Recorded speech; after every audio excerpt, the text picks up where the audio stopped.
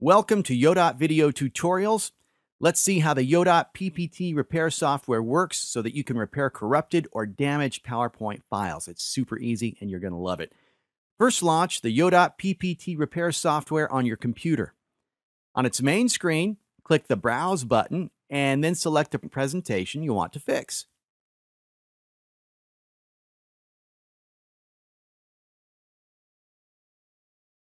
Once you have selected the file, hit the Repair button. Immediately, the software starts the file repair procedure. And within a few moments, the software completes the repair process and takes you to the next screen. Here, browse a location to save the repaired PPT and click the Save button. And the software saves a PPT file to the desired location.